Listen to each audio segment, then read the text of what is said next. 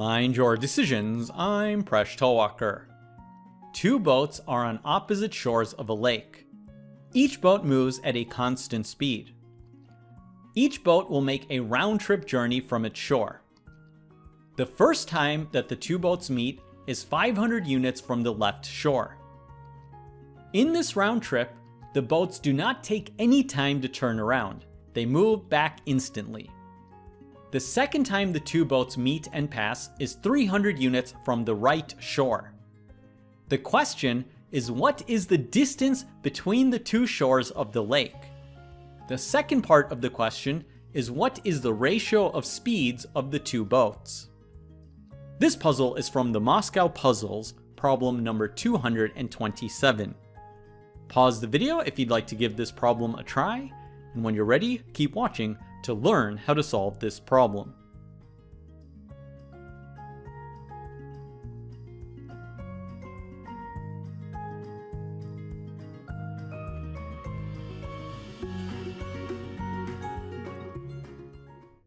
So how can we solve this problem?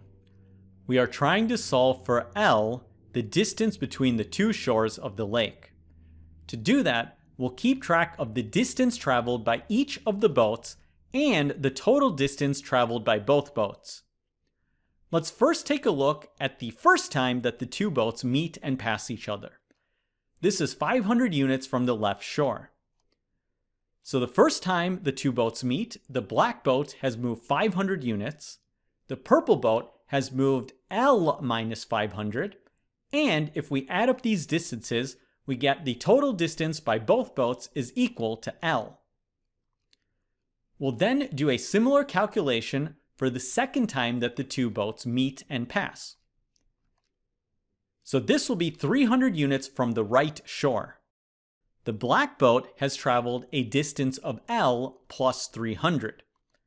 The purple boat has essentially made a round trip, but it's short by 300 units. So the purple boat has moved 2L minus 300. We can add up these distances to get the total distance by both boats is equal to 3L. We can now use this table to solve the problem. Notice the time between the first and second meeting is the same for both boats. Furthermore, each boat moves at a constant speed, so it suffices to compare the distances between the first and second meeting.